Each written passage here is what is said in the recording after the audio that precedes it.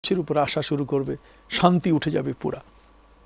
তার মধ্যে একটি হলো এজাত্তু খেজাল ফাইউদ্দিওয়ালা রিলিফের মাল যখন আত্মসাত হবে, গরিবের সম্পদ যখন লুটপাট হবে, গরিবের সম্পদ যখন, ধনীরা যখন নিজেরা ব্যবহার করা শুরু করবে নিজেদের জন্য, তখনই ওই তসবির সুতা ছিঁড়ে গেলে যেমন দানা টপ টপ করে পড়ে, আল্লাহর গজব ঠিক এমনি করে একের পরে এক ধারাবাহিকভাবে আসা শুরু করবে।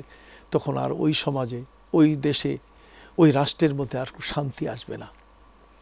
নবী করিম সাল্লাহ আলী তিনি বলছেন ও জাকাত মাগরামা জাকাতকে যখন জরিমানা মনে করবে, ঠিক অনুরূপভাবে আমানতকে যখন গরিমত মনে করবে রিক্সাওয়ালা মানুষ বড় কষ্ট করে দিন খেটে যা পায়, নিজের কোনো ব্যাংক ব্যালেন্স নেই বা ব্যাংক বুঝাবার, বুঝবার মতো ক্ষমতা তার কাছে নেই, সে একজন বিশ্বস্ত মানুষকে মনে করে তার কাছে টাকা আমানত রাখল যে আমি মাসে মাসে টাকাটা আপনার কাছে জমা দিয়ে প্রয়োজনের খাতির এক সময় আমি নিয়ে নিব।